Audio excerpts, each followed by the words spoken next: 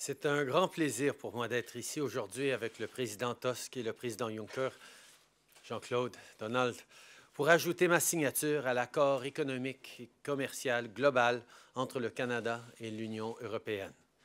En apposant notre signature, le Canada, comme les 28 pays signataires, affirme son engagement à l'égard d'une entente commerciale qui vise à assurer un meilleur avenir pour tous les citoyens. Ensemble, nous sommes arrivés à un, accord historique qui protégera et fera progresser le bien-être économique et social de 543 millions de citoyens. Nous prévoyons que cet accord augmentera de 20 les échanges entre les pays partenaires, en plus d'ajouter des milliards de dollars à nos économies. Le Canada est le douzième plus grand partenaire commercial de l'Union européenne et l'Union européenne est notre deuxième plus grand partenaire commercial. Mais les liens qui nous unissent vont bien au-delà de la coopération économique. Cet accord est le produit de longues discussions, des discussions franches, mais qui se sont toujours déroulées dans le respect entre partenaires qui partagent des valeurs communes.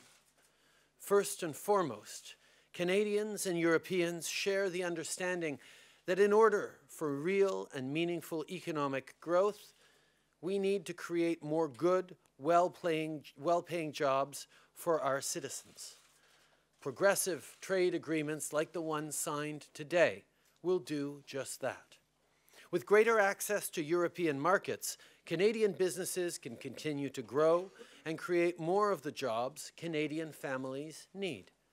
We know that jobs in competitive exporting sectors offer better pay, with wages that are 50% higher than in industries that are not trade intensive. And those are the kinds of jobs we look forward to welcoming as a result of today's agreement. Greater market access, more economic growth, and stronger job creation. That's good news for Canada's middle class and for the communities they call home. Canadians and Europeans also agree that the growth we achieve needs to be more inclusive. The benefits of growth must be felt by everyone, not just our wealthiest citizens. In creating more opportunities for Canadian and European workers, we are charting a path toward an economic future that is both more inclusive and more progressive.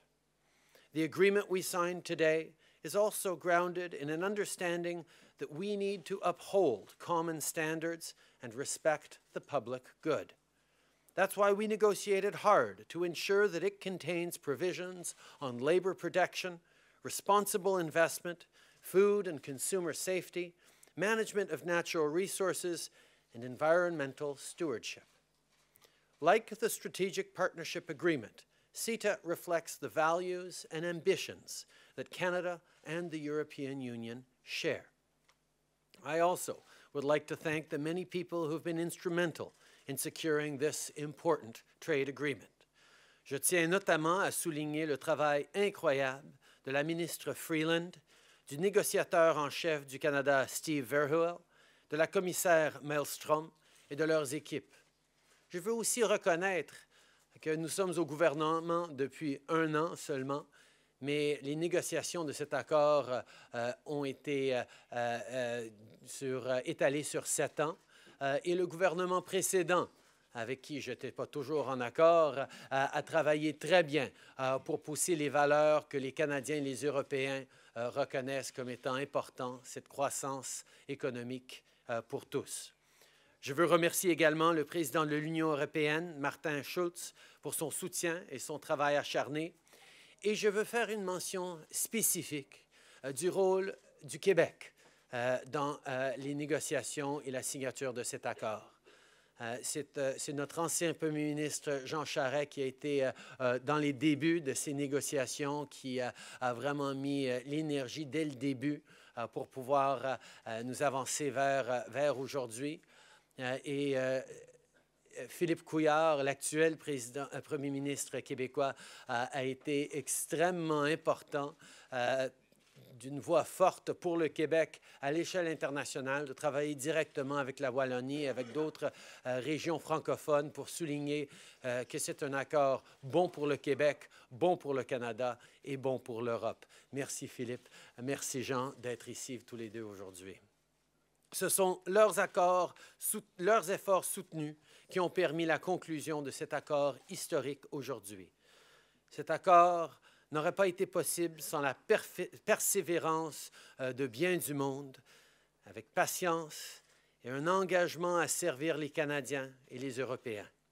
Je remercie tous et toutes pour le travail acharné et c'est avec plaisir qu'on ouvre un nouveau chapitre sur l'amitié, l'engagement, le partenariat entre le Canada et l'Europe.